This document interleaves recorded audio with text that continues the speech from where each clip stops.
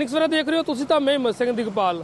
ਭਾਰਤ ਭੂਸ਼ਣ ਆਸ਼ੂ ਨੂੰ 4 ਦਿਨ ਦਾ ਰਿਮਾਂਡ ਖਤਮ ਹੋਣ ਤੋਂ ਬਾਅਦ ਵਿਜੀਲੈਂਸ ਦੇ ਵੱਲੋਂ ਅੱਜ ਦੁਬਾਰਾ ਜਿਹੜਾ ਕਿ ਲੁਧਿਆਣਾ ਕੋਰਟ ਦੇ ਵਿੱਚ ਪੇਸ਼ ਜਿਹੜਾ ਕੀਤਾ ਜਾਂਦਾ ਹੈ ਤਾਂ ਉਸ ਤੋਂ ਬਾਅਦ ਲੁਧਿਆਣਾ ਕੋਰਟ ਦੇ ਵੱਲੋਂ 2 ਦਿਨ ਦਾ ਜਿਹੜਾ ਕਿ ਹੋਰ ਹੈ ਰਿਮਾਂਡ, ਉਹ ਵਿਜੀਲੈਂਸ ਨੂੰ ਦੇ ਦਿੱਤਾ ਗਿਆ ਹੈ। ਤਾਂ ਸਵੇਰ ਦੀਆਂ ਤਸਵੀਰਾਂ ਤੁਹਾਨੂੰ ਦਿਖਾਈਆਂ, ਪਰ ਹੁਣ ਰਾਤ ਦੀਆਂ ਤਸਵੀਰਾਂ ਤੁਹਾਨੂੰ ਦਿਖਾ ਰਹੇ ਹਾਂ। ਵਿਜੀਲੈਂਸ ਦਫ਼ਤਰ ਦੇ ਬਾਹਰ ਦੀਆਂ।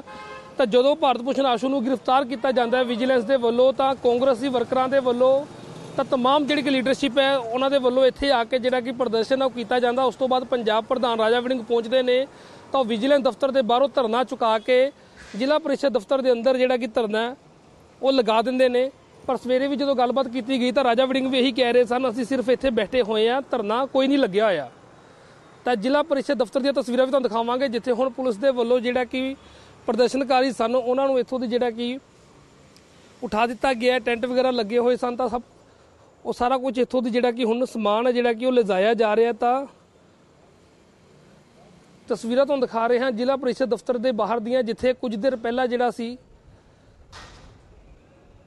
ਧਰਨਾ ਲੱਗਿਆ ਹੋਇਆ ਸੀ ਤਾਂ ਵੱਡੀ ਗਿਣਤੀ ਦੇ ਵਿੱਚ ਕਾਂਗਰਸ ਦੇ ਜਿਹੜੇ ਕਿ ਤਮਾਮ ਲੀਡਰਸ਼ਿਪ ਸੀ, ਉਹ ਇੱਥੇ ਮੌਜੂਦ ਸੀ। ਤਾਂ ਹੁਣ ਉਸ ਧਰਨੇ ਨੂੰ ਜਿਹੜਾ ਕਿ ਖਤਮ ਕਰਾ ਦਿੱਤਾ ਗਿਆ ਤਾਂ ਸਮਾਨ ਨੂੰ ਵੀ ਜਿਹੜਾ ਕਿ ਸਮੇਟਿਆ ਜਾ ਰਿਹਾ।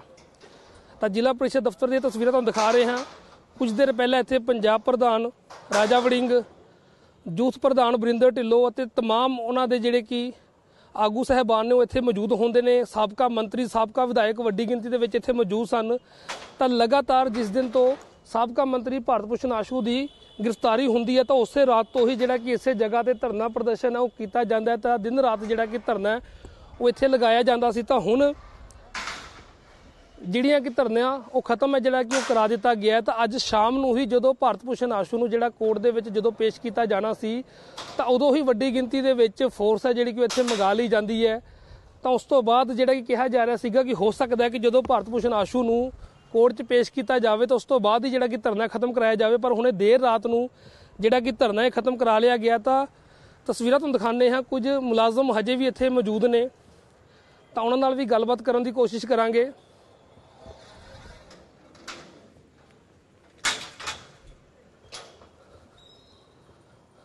ਅਨਾਜ ਦੀ ਢੋਆ ਢੁਆਈ ਨੂੰ ਹੋਏ ਘੁਟਾਲੇ ਨੂੰ ਲੈ ਕੇ ਭਾਰਤ ਭੂਸ਼ਣ ਆਸ਼ੂ ਲਗਾਤਾਰ ਵਿਜੀਲੈਂਸ ਦਫ਼ਤਰ ਦੇ ਵਿੱਚ ਉਹਨਾਂ ਨੂੰ ਰੱਖਿਆ ਗਿਆ ਹੈ, ਜਿਹੜੀ ਕਿ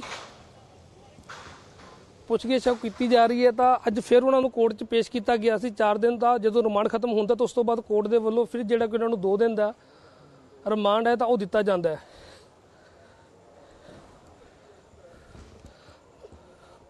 ਤਾਂ ਪੁਲਿਸ ਪ੍ਰਸ਼ਾਸਨ ਹਜੇ ਵੀ ਇੱਥੇ ਮੌਜੂਦ ਹੈ ਤਾਂ ਉਹਨਾਂ ਨਾਲ ਵੀ ਗੱਲਬਾਤ ਕਰਨ ਦੀ ਕੋਸ਼ਿਸ਼ ਹੈ ਉਹ ਕਰਦੇ ਆ। ਤਾਂ ਹਾਲ ਦੀ ਘੜੀ ਜਿਹੜਾ ਕਿ ਧਰਨਾ ਉਹ ਖਤਮ ਕਰਾ ਦਿੱਤਾ ਗਿਆ ਤਾਂ ਗੱਲਬਾਤ ਵੀ ਕਰ ਲੈਂਦੇ ਆ। ਸਰ, ਪ੍ਰਦਰਸ਼ਨਕਾਰੀ ਇੱਥੇ ਬੈਠੇ ਸਨ ਕੁਝ ਦੇਰ ਪਹਿਲਾਂ ਉਹਨਾਂ ਨੂੰ ਉਠਾ ਦਿੱਤਾ ਗਿਆ ਜੀ। ਪਰ ਆਪਣੇ ਆਪ ਚਲੇ ਗਏ ਨੇ? ਉਹਨਾਂ ਦੇ ਕੋਈ ਪਰ ਉਹਨਾਂ ਵੱਲੋਂ ਕਿਹਾ ਗਿਆ ਸੀ ਅਸੀਂ ਪੱਕੇ ਤ- ਤੌਰ ਤੇ ਬੈਠੇ ਹਾਂ ਜਦ ਤੱਕ ਰਿਹਾ ਨਹੀਂ ਕੀਤਾ ਤਦ ਤੱਕ ਅਸੀਂ ਇੱਥੇ ਹੀ ਬੈਠਾਂਗੇ। ਮੈਂ ਨਾ ਹੁਣੇ ਚਾਰਜ ਲਿਆ ਹਰੀਸ਼ ਬੈਲ ਪਹਿਲਾਂ ਡੀਐਸਪੀ ਸੀ। ਉਹ ਹੁਣੇ ਚਾਰਜ ਮੈਂ ਅੱਧਾ- ਅੱਧਾ ਘੰਟਾ ਪਹਿਲਾਂ ਆਇਆ ਉਹਨਾਂ ਨੂੰ ਸਾਰੇ ਫੈਕਟਸ ਪਤਾ ਸੀ। ਹੁਣ ਤੁਸੀਂ ਆਪ ਆ ਕੇ ਖਾਲੀ ਕਰਾਈ ਜਾਂ ਫਿਰ ਆਪ ਹੀ ਉੱਠ ਕੇ ਚਲੇ ਗਏ? ਨਹੀਂ ਉਹ ਆਪ ਚਲੇ ਗਏ ਨੇ ਆਪ ਚਲੇ ਗਏ। ਅੱਛਾ ਆਪ ਹੀ ਚਲੇ ਗਏ। ਹੁਣ ਇੱਥੇ ਕੋਈ ਵੀ ਕਾਂਗਰਸੀ ਵਰਕਰ ਜਾਂ ਲੀਡਰ ਨਹੀਂ ਹੈਗਾ ਜੀ। ਨਹੀਂ ਕੋਈ ਨਹੀਂ ਹੈਗਾ ਕੋਈ ਹੁਣ ਦੁਬਾਰਾ ਤਾਂ ਨਹੀਂ ਕੋਈ ਗੱਲ ਕਹੀ ਜਾ ਰਹੀ ਕਿ ਦੁਬਾਰਾ ਤੋਂ ਜਾਂ ਸਵੇਰ ਤੋਂ ਜਾਂ ਫਿਰ? ਅਹ ਕੁਝ ਨਹੀਂ ਕਿਹਾ ਜਾ ਸਕਦਾ ਅਜੇ ਤੱਕ ਹੁਣ ਫਿਲਹਾਲ ਕੋਈ ਨਹੀਂ ਹੈਗਾ ਫਿਲਹਾਲ ਕੋਈ ਨਹੀਂ ਹਾਂਜੀ ਤਾਂ ਬਿਲਕੁਲ ਤਸਵੀਰਾਂ ਤੁਹਾਨੂੰ ਦਿਖਾ ਰਹੇ ਹਾਂ ਜ਼ਿਲ੍ਹਾ ਪਰਿਸ਼ਦ ਦਫ਼ਤਰ ਦੀਆਂ, ਜਿੱਥੇ ਕਿ ਹੁਣ ਇਹ ਸਾਰਾ ਜਿਹੜਾ ਕਿ ਏਰੀਆ ਜ਼ਿਲ੍ਹਾ ਪਰਿਸ਼ਦ ਦਫ਼ਤਰ ਦਾ ਉਹ ਸਾਰਾ ਇੱਕ ਵਾਰ ਜਿਹੜਾ ਕਿ ਖਾਲੀ ਹੈ, ਉਹ ਕਰਾ ਦਿੱਤਾ ਗਿਆ ਤਾਂ ਪ੍ਰਸ਼ਾਸਨ ਦੇ ਵੱਲੋਂ ਇਹੀ ਕਿਹਾ ਜਾ ਰਿਹਾ ਹੈ ਕਿ ਹਾਲ ਦੀ ਘੜੀ ਜਿਹੜੇ ਕਿ ਪ੍ਰਦਰਸ਼ਨਕਾਰੀ ਨੇ, ਉਹ ਆਪ ਹੀ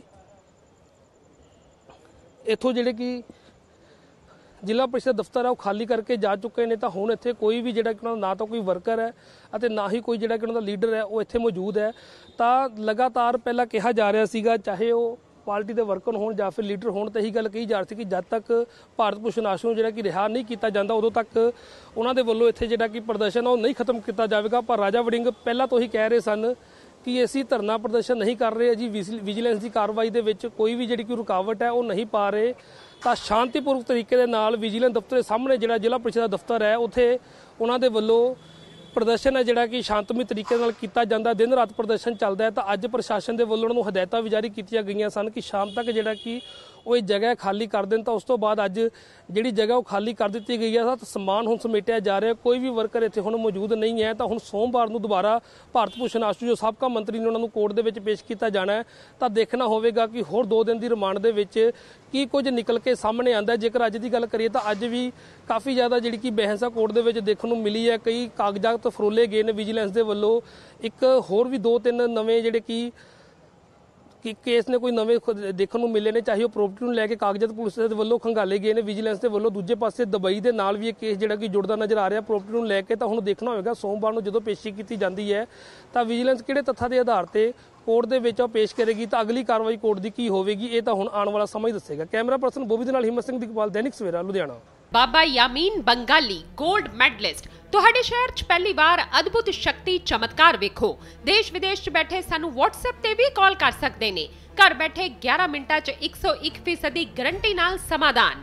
ਵਸ਼ੀਕਰਨ ਅਤੇ ਮੁਟਕਰਨੀ ਦੇ ਮਾਹਿਰ ਸਭ ਤੋਂ ਪਹਿਲਾਂ ਕੰਮ ਕਰਨ ਦਾ ਵਾਅਦਾ। ਨੌਕਰੀ, ਪ੍ਰਮੋਸ਼ਨ, ਕਾਰੋਬਾਰ 'ਚ ਪਰੇਸ਼ਾਨੀ, ਘਰ 'ਚ ਝਗੜਾ, ਬਰਕਤ, ਔਲਾਦ ਕਿਹੜੇ ਤੋਂ ਬਾਹਰ ਹੋਣਾ?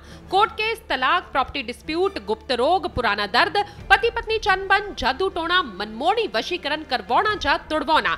ਸੌਤਨ ਦੁਸ਼ਮਣ ਤੋਂ ਛੁਟਕਾਰਾ ਸਦਾ ਲਈ। ਰੁੱਸੇ ਨੂੰ ਮਨਾਉਣਾ ਪਿਆਰ ਮੁਹੱਬਤ। ਬਾਬਾ ਯਾਮੀਨ ਬੰਗਾਲੀ 9643503221